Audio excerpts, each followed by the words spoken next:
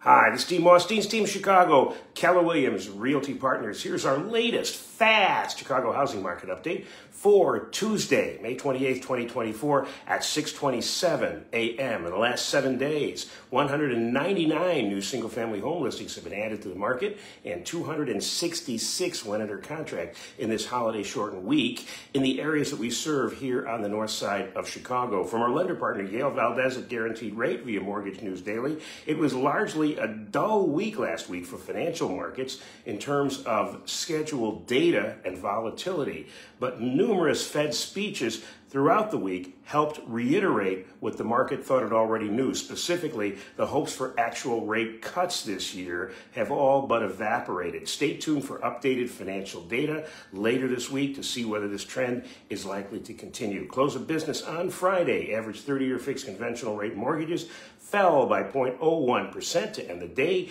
at 7.16% on average. For the latest real estate trends and an estimate of your home equity, we'll contact our team today for up-to-date mortgage rates and your specific situation.